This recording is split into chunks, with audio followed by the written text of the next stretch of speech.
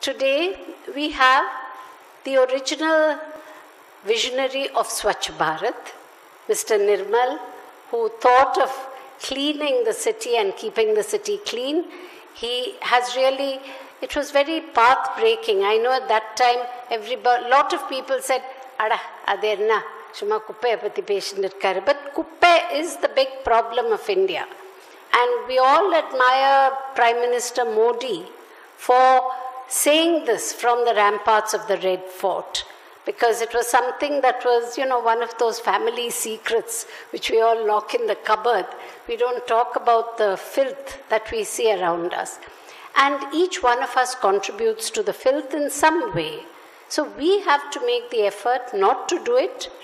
And I tell you, children, once in a while I do see an occasional chocolate paper, and I immediately pull you up and say, No chocolate papers outside we try to keep our campus clean because unless we keep our campus clean, we can't keep the rest of the city clean.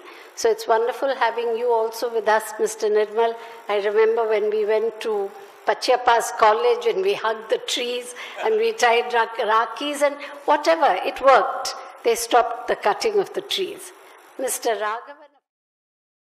If you enjoyed this video, be sure to hit that subscribe button before you go and click the bell icon to get regular updates from our channel. In case you have missed any videos, please visit the channel page by clicking the channel icon.